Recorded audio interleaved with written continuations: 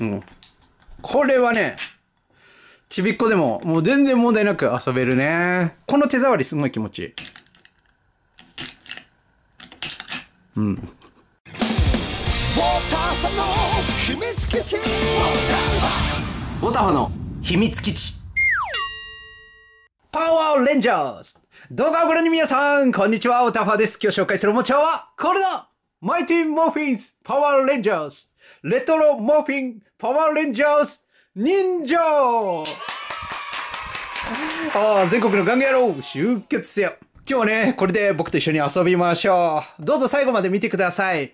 えっとね、去年の夏、だから秋ぐらいだね。秋ぐらいに手に入れたおもちゃなんだけど、まあこれブリスターパッケージなので、まだ開封してなかったので、ちょっとね、今日はみんなでこれを開けたいな、ということで、えー、よ持ってきました。改めてこれは何なのかというと、まあパワーレンジャーですね。そこに登場した、まあ忍者ですね。これは、いわゆるスーパー戦隊シリーズの第18番、忍者戦隊核レンジャーに登場する、まあ、忍者マン。そしてね、こう変形す、変化すると、こう、サムライマンになるんだけど、まあ、そのフィギュアとなります。もともとこれはレトロモーフィンパワーレンジャーズっていうね、そのシリーズがあって、まあ、その中でこの忍者が発売されたというわけです。パッケージこんな感じです。これね、このおもちゃすごくいいのが、ああ、そうだね。ふ、3つぐらいある。あ、その2つぐらい。うん。まず、これね、この商品の魅力は、あのーまあさ、パワーレンジャーとか戦隊ってバンダイだよね。今は、このパワーレンジャーのその権利をハズブロが持っています。ハズブロっていうのは、いわゆる海外ではトランスフォーマーとかをね、こう販売してるメーカーなんだけど、そこからパワーレンジャーのアイテムが出てるっていうことだね。あとはこの忍者マンとしての魅力としては、この大きさ。あの、日本でもね、こう発売されましたね。海外のパワーレンジャーでも発売されて、まあ僕もレビューしたんだけど、忍者マンってほら大きいじゃない。なんだけども、まあ、核レンジャーではこう、6番目の戦士としてね、こう、大きさがね、こう、自由自在なんですね、このキャラクター。だからこのサイズ結構いいなと思って。そこそこ、なんていうかな、小ぶりなんだけども、ちゃんと変形する。うん、っていうところが、あいいところかな、というわけですね。というわけで早速、開けよう開けろカッターナイフを使うときは気をつけてね。もう取り出します。あ、ごめん。開けてもうすでに準備しようと思ったんだけど、こういうブリスターってもう開けたら最後じゃない。こういうやつのあの開け方があるんだけども、ちょっとワンポイントアドバイスすると。ここを切ります。ここを切ります。そして、この、ここを切って3点を開けることにより、実は、実はこういう感じでね、出すことができます。そうするとさ、戻せる。みたいな感じですね。はあ、ブリスターはね、こういう中のあれ？あれにはね、こういう風に入ってますね。じゃんというわけでね、中身を取り出しました。いいサイズだね。手で持つとこんな感じです。うーん、しっくりきます。あとはね、プロポーション。プロポーションもすごくいいですね。本当にあの、劇中の忍者マンって感じです。横。そして、後ろ。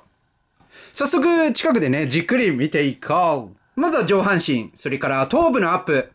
うん。このゴールドの色味がすごくいいですね。あの、ブルー系のゴールドといった感じです。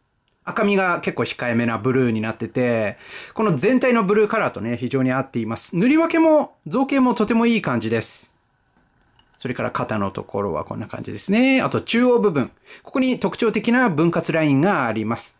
この中央部分の N の、この縁の、あの、他のところがね、ブラックで塗装されてて、ここもまた質感がいいですね。この腰回りのところとか。あと、この忍者マンってここら辺に特徴があるんだけど、ここら辺もちゃんと再現されています。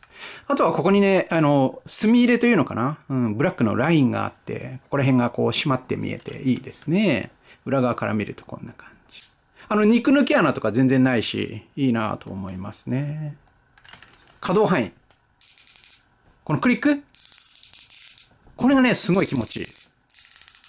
このクリック幅もとてもあの間隔が小さい感じでね。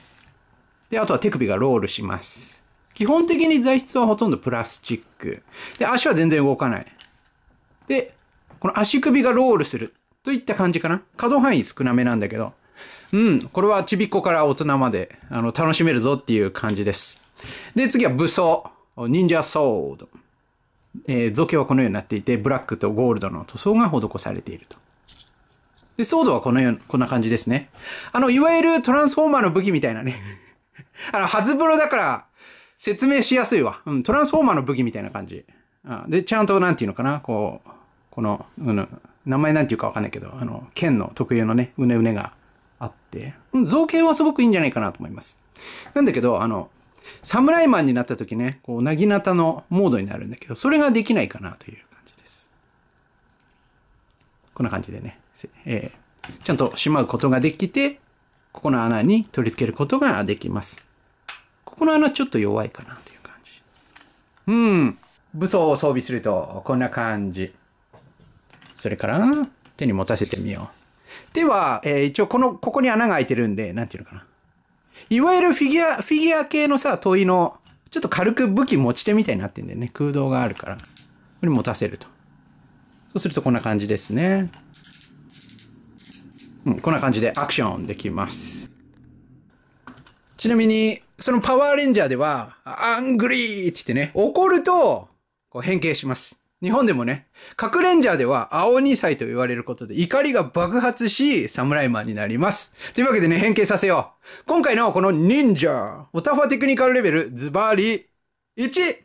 ああ、久しぶりにね、1来ました。すごい簡単で面白いです。知ってる人もね、知らない人も一緒に楽しみましょう。まずは足を引っ張る。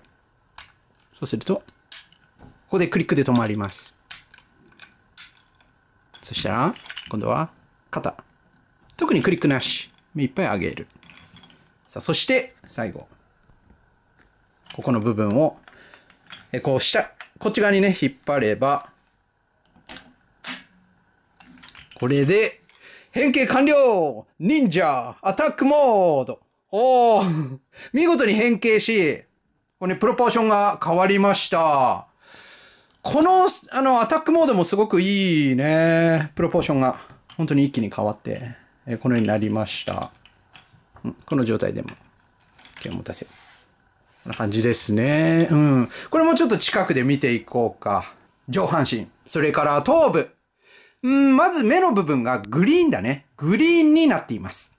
他にはレッドの部分が成型色になっていて、あとは口元がシルバーですね。ちょっとこの頬のところに塗装ハゲが 気になります。頭部は動かないです。それから胸部。うん、この特徴的なところも、レッドは塗装ですね。で、ゴールドも塗装になっています。うん。いいよね。このすんごい少ないさ、手数でさ、一瞬で変形するっていうね。ちょっと一瞬で元に戻そう。ソードはこの横にして、こうやって変えてあげるといい。ちょっとここの説明しようか。あの、なんていうか、こう、トリガーみたいな引っかかるとこある。わかる？これで、カチッ。カチでね、こう変わる。これ、この手触りすごい気持ちいい。うん。そしたら、あとはね、腕、で足。ここも、さっき言ったけど、クリックがあるんで、ぐらぐらしてるように見えてるんだけど、ちゃんと、ピタッと止まっています。あとはね、こう上に上げれば、うん。これでね、忍者。普通の状態に戻ります。アングリーモード。うん。これで変形完了。もう、このテクニカルレベル1はめっちゃ気持ちいいな。いいですね。ちょっとこれで、アクションさせるとこんな感じですね。まあ、この、なんだろうな、頭部は全く動かないんだけど、幸い腕回り。あの、手首と、だからこのクリックがあることによって少しこう遊べるかなという感じです。うん。いいですね。最後は、ちょっとね、わかりやすい大きさ比較などをしましょう。まずガンダムで言うと、ロボット魂と並べるとこんな感じ。ちょっと大きいね。15、6センチぐらいあるんじゃないかなと思います。それから、じゃあ同じハズブロなんで、トランスフォーマー。これが、オプティマスプライムこれリーダークラスなんだけど、まあ、ボイジャーとしましょう。まあ、大体ボイジャークラスよりちょっと小さいぐらいか。うん。まあ、ぐらいの大きさですね。あとは、そう、これね、この大きさ何がいいかなと思って、SMP とかさ、この辺と近いんじゃないかなと思ったけど、ちょっとこの忍者マン、でかいか。まあ、これサムライマンなんだけど。うん。ちょっとこっちが大きいかな。うん。でもいいよね。あいいんじゃないかなと思いますね。あとは、デラックスですね。忍者マンの、え瞬間変形忍者マン。ちょっと待って、今、忍者モードなんで、これは、当時品は、この、各部の赤いスイッチを、こうやって押すことによって、こう変化すると。パワーレンジャーでもね、こう展開されていたアイテムになります。じゃん一緒に並べるとこんな感じ。大きさがこれだけ違います。あ、言うの忘れた。違うんだよ母ちゃんちょっと最後に、えー元に戻そう。戻そうっていうか、い一往復してもいいぐらいね。これで変形完了です。うん。これはね、ちびっこでももう全然問題なく遊べるね。一通りの遊び方はこんな感じ。というわけで今回のレトロモーファーパワーレンジャー忍者のレビューいかがだったでしょうか？こう一緒に触ってね、遊んだ気持ちになってもらえたなら本当に嬉しく思います。そうだね、実際に触ったところ、この手触り、絶妙な大きさ。で、変形もちゃんとできるし、この大きさ。そして、なんだろうね、バンダイっていうイメージがあったけど、ハズブロから出てるっていうことでね、あの、自分はその、権利がハズブロに移ってから、まあ本当にいいものがあれば買おうかなと思ってて、なかなかあんまり、ピンポイントで刺さりそうなものがなかったから買ってなかったんだけど、これはいいなと思って。このレトロモーファーシリーズってもともと放映当時の、なんていうか、この変身前のヒーローの顔がここにあり、さっきのギミックでシャコっ、こうヒーローの顔に変わるっていう、その、それ系統のブランドのおもちゃで、まあそれのこう、リメイクトイみたいな感じなんだけど、あ、忍者マンだったらいいかなと思って、これだけ買ったんだよね。あいい。この大きさがすごくいいなと思いました。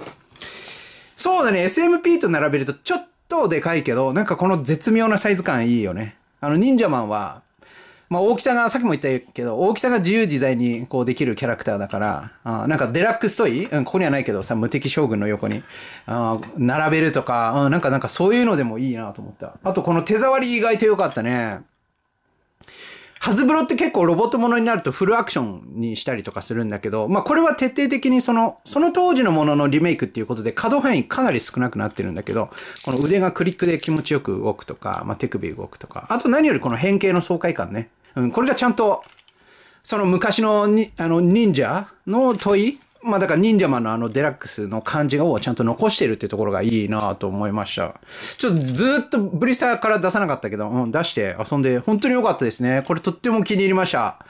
ちなみにこれ Amazon でもまだあるのかな前一回検索したら4000円ぐらいであったかなと思いますね。もし気になった方、ぜひゲットしてみてください。今回の動画、面白かったな、楽しかった、参考になったという方、チャンネル登録と熱い高評価、どうぞよろしくお願いします。いつも本当に励みになります。それから僕は Twitter、公式 LINE アカウントがあります。お友達の追加もどうぞよろしく。あと、どんなことでも結構です。おー、タファー。あ、僕はもしこれ買った際は、忍者マンとして迎え入れようかなとかね。あ、この名前の忍者っていうのがかっこいいよね、とかね。あ、そうだ、明日からね、えードンブラザーズの新商品が発売されるね、とかね。などなど。どんなことでも結構です。みんなからのコメントを待ってます。それでは次の動画でお会いいたしましょう。もともでしたまたねーガンリアの集結せよミッションを繰り出せよ変形が赤い憧れてた夢のトランスフォーム私の秘密基地